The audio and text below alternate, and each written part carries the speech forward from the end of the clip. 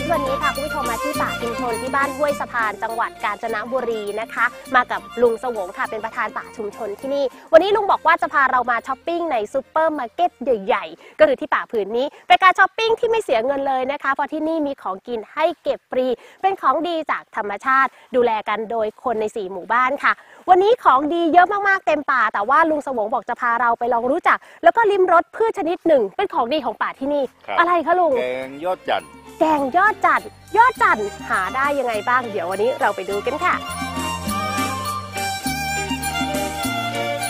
ไม่ให้เรียกซูเปอร์มาร์เก็ตได้ยังไงล่ะคะ เพราะหิวเมื่อไหร่ ชาวบ้านห้วยสะพานก็พากันเข้าป่า พร้อมกับอุปกรณ์ขอเกี่ยวยาวๆ ก็ได้อาหารไปปรุงกินแล้วค่ะพืชชนิดไหนกินได้ก็เพียงดูจากป้ายชื่อและสรรพคุณ ที่ชาวบ้านช่วยกันติดไว้ตามต้น เพื่อให้สังเกตง่าย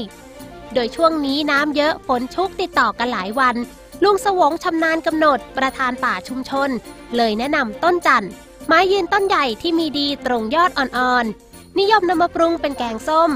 รสชาติเปรี้ยวมันจากใบช่วยชูรสน้ำแกง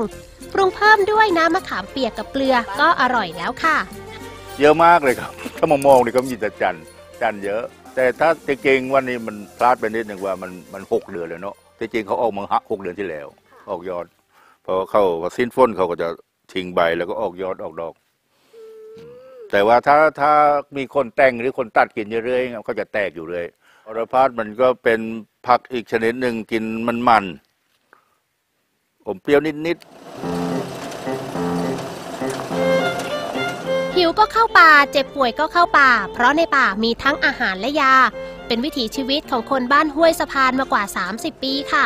หลังจากที่ราชการมอบพื้นป่าดิบแล้งกว่า 2,000 ไร่ ใกล้แหล่งชุมชนแห่งนี้ มาให้ชาวบ้านช่วยกันดูแล กลายเป็นป่าชุมชน เปิดให้ทุกคนมีโอกาสมาใช้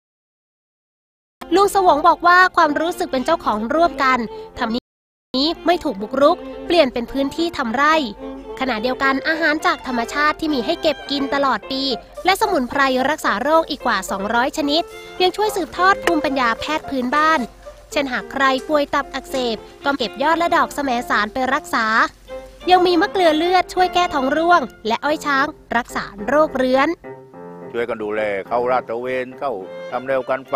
ปลูกต้นไม้เพิ่ม อันนี้เป็นกิจกรรมทุกปี พอทำตรงนี้ปั๊บชาวบ้านก็เริ่มเห็นพอเห็นปั๊บตรงหนึ่งที่ได้ก็คือปัจจุบันป่าหมดป่าเลือน้อยมากไอ้ตรงนี้มันเป็นเหมือนซูเปอร์มาร์เก็ต อ่าใครๆก็มาหากินได้ก็เกิดการห่วงแหนกัน มันมันหลักใหญ่คือหนึ่งถ้ามันมีประโยชน์ใครๆก็ก็อยากจะดูแลเนาะแต่ถ้าไม่ได้ประโยชน์ถ้าแล้วก็ย่างความรู้สึกเป็นของตัวเองเออป่าชุมชนเป็นของชุมชน มันก็จะนิยามเนี่ยมันจะเกิดอยู่ตลอดเออถ้าเป็นของเราเราก็กินแล้วก็ต้องให้อยู่ได้กินแล้วต้องช่วยกันดูแลพืชพันธุ์จากพื้นป่ายังสร้างรายได้ให้ชาวบ้านด้วยค่ะ โดยเฉพาะช่วงฤดูเห็ดเพาะเห็ดโคน มีรายได้หมุนเวียนในชุมชนกว่าปีละ 5 ล้านบาท ขณะเดียวกันป่าชุมชนบ้านห้วยสะพาน ยังเป็นแหล่งเรียนรู้ของชุมชนที่มีชาวบ้านเป็นครูท้องถิ่น ช่วยกันดูแล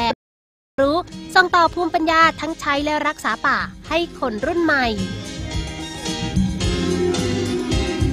ชาวบ้านเขาก็อยู่คู่กับผืนป่าแห่งนี้มานานกว่า 30 แล้วค่ะ ช่วยกันดูแลช่วยกันรักษาศึกษานะคะ ว่าต้นไม้แต่ละต้นเนี่ยเป็นอะไรบ้าง แล้วก็นำชื่อมาแปะ แล้วก็สรรพคุณต่างๆ เอาไว้ เพื่อให้คนที่ไม่รู้จักสามารถมาศึกษา แล้วก็ลองนำไปใช้ประโยชน์กันได้ค่ะอิมมันรถวันนี้ลาคุณผู้ชมไปก่อนสวัสดีค่ะ